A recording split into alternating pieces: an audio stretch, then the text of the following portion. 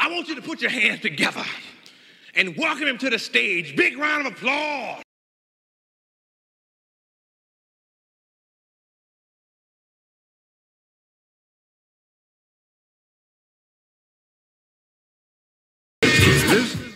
That boy is good.